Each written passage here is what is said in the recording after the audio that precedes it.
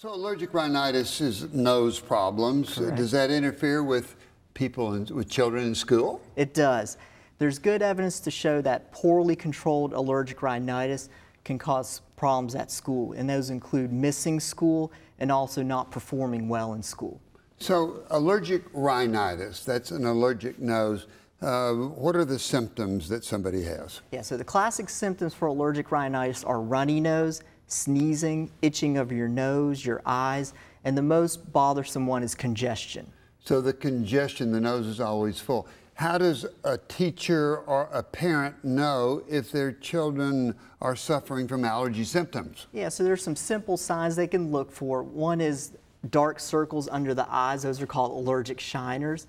Some children have creases under the lower eyelids. Those are called Dennie Morgan lines. And some people have a crease that goes across the base of the nose, and that's from doing this, and we call that the allergic salute.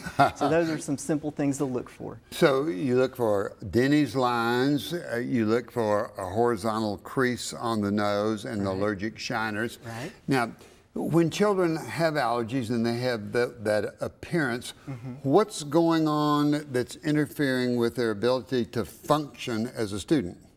Okay, so one of the biggest problems is since they have poorly controlled symptoms and congestion is the one that bothers them the most, it really interferes with their sleep at night. So they don't get well rested at night. And so this, when they wake up, they're already fatigued, um, they're irritable, they're restless. And so when they get to school, they just can't concentrate and they can't focus on learning. So children need eight to nine, nine and a half hours sleep. Mm -hmm. And if they don't get that because of a stuffy nose, then they can't perform well.